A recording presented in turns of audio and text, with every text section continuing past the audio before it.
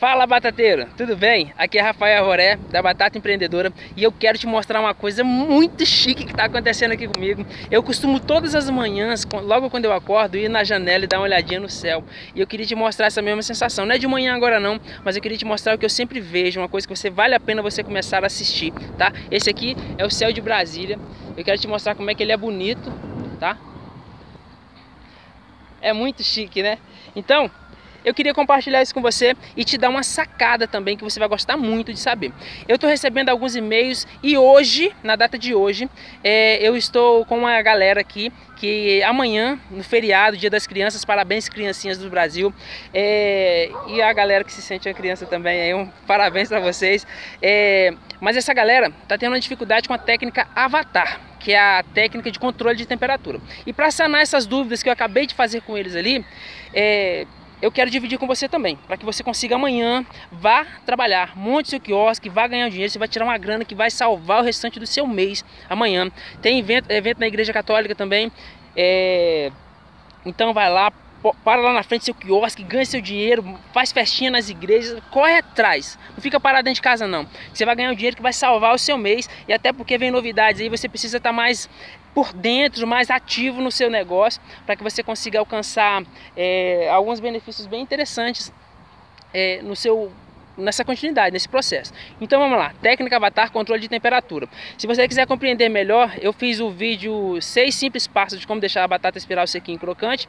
Tá lá no YouTube, tá lá no Facebook, vai na fanpage, já curte lá e acompanha o, o, esse conteúdo que você vai compreender melhor do que eu estou falando. Então é o seguinte, momento que for utilizar essa técnica é o momento da imersão do seu espeto. Existe uma diferença de espetos que ficam crocantes e espetos que ficam duros. A beleza é quase que a mesma, mas você vai conseguir diferenciar se o espeto está duro, se está crocante, pela textura que ele tem. Se ele ficar amarelinho, é, brilhante, não pela gordura, mas brilhante, a batata brilhante, é porque o seu espiral está crocante, tá? Se ele ficar amarelado e meio esbranquiçado, é porque o seu espiral está duro. Tem uma diferença. Quando ele está duro, eu simplesmente não vendo, porque eu também erro nesses momentos de utilizar esse processo da técnica Avatar controle de temperatura. Mas quanto mais prática você tem, menos problema com isso você vai ter. Então, deixa eu explicar novamente.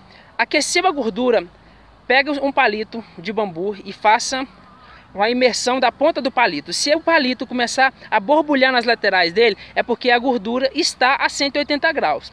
Nesse exato momento você vai pegar a sua batata espiral, deixa eu colocar assim para você ver lá atrás. Tá muito bonito, né? Então, nesse exato momento que você é, aqueceu a gordura, colocou seu espiral lá dentro, você vai abaixar totalmente a temperatura, não desligar, mas vai ficar bem baixinho o fogo. O espiral vai continuar fritando da mesma forma, baixando a temperatura da, da gordura, só que nesse processo ele já ele já fritou o lado externo. Então, por dentro ele só vai cozinhar e manter a crocância. Nesse, nesse exato momento, você baixando essa temperatura, ele vai reduzir a espuma. Quando reduzir a espuma da fritura da, do espiral, o que, que você vai fazer? Você vai pegar e aumentar até a metade do fogo da sua fritadeira, tá bom? Simples assim, não dá para explicar direitinho, mas só para você ter uma teoria é, mais profunda da técnica.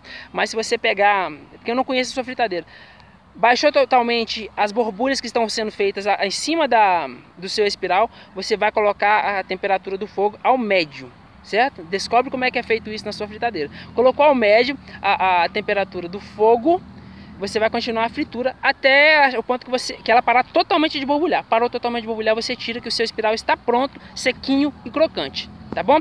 É simplesmente isso que eu queria compartilhar com você. Essa é uma dúvida que eu tô com a galera aqui. Amanhã vai muita gente trabalhar e eu quero que você faça isso também.